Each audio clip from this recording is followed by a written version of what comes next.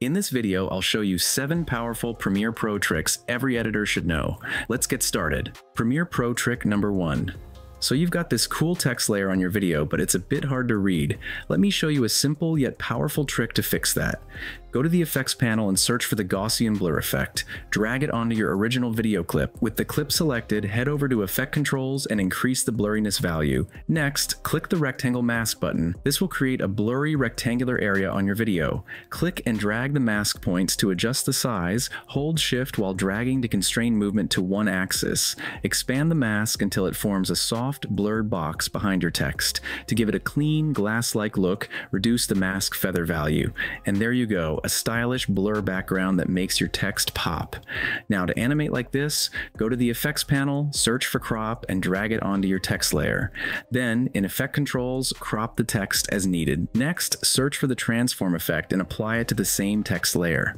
In effect controls, make sure the crop effect is placed above the transform effect. Create a position keyframe at the start, then move the text downward. Move forward 6 to 7 frames and adjust the position to bring the text up and reveal it. And just just like that, you've created a smooth and professional looking text animation. Trick number two, we have audio waveform. When you adjust volume levels using keyframes, the audio waveform updates in real time to reflect those changes. I'll just hold the key, add a few keyframes, and there you go. The waveform reacts instantly. It's a small detail, but incredibly helpful for anyone working closely with audio. Trick number three, animated color background behind your text or shapes. Go to the project panel, right click and choose new item, then select black video, drag it onto your timeline. Now in the effects panel, search for four color gradient and drag it onto the black video. Next, go to the effect controls and change the four colors to your liking.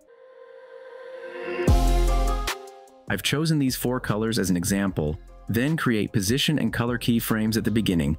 Move 10 frames forward and change the positions of the colors. Move further ahead again and adjust the positions once more. You can also change the colors here to suit your style.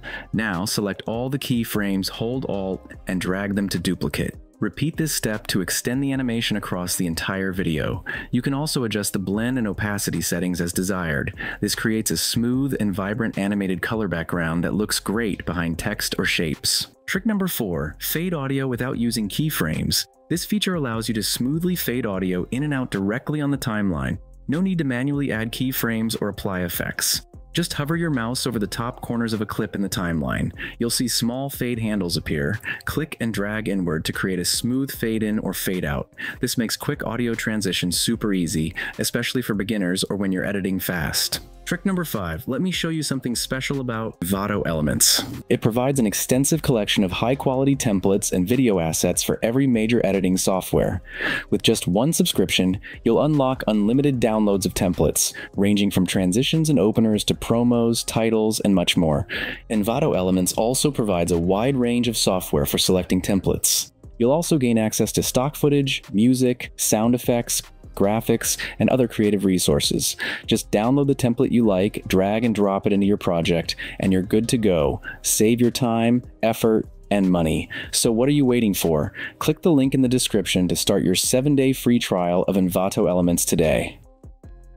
Trick number 6, Autotone and Lumetri Color. You need just to open the Lumetri Color panel, go to the basic correction section and click the auto button and bang, Autotone automatically enhances the colors of your video. No need to tweak settings manually. Trick number 7. Animated grid background. Once you've built it, you can customize the colors and reuse it across multiple projects with ease. First, go to your project panel and click on New Item to create a color matte. Choose a dark gray color, then drag the color matte into the timeline. Next, go to the Effects panel and search for Grid. Apply the grid effect to the color matte. Now head to the Effect Controls panel and change the size setting from corner point to width slider. Increase the width to around 255 or adjust based on your preference. Set the blend mode to overlay and reduce the opacity to your liking. Now search for ramp in the effects and apply it to the same color matte. Make sure the ramp shape is set to linear ramp and increase blend with original to around 90 or 100, depending on your taste. If you want to change the white color to another shade, go ahead and do it. Let's switch it to red for example. You can also adjust the ramp's position to create a different style. Play around with the blend with original value for more refined results. Once that's done, go back to the Effects tab and search for noise. Apply the noise effect to the color matte, and in the effect controls, increase the noise amount to around 4 or 5. You can disable the Use Color Noise option if you prefer a cleaner look. That's your final background. Thanks for watching and don't forget to like and subscribe for more awesome tutorials just like this one.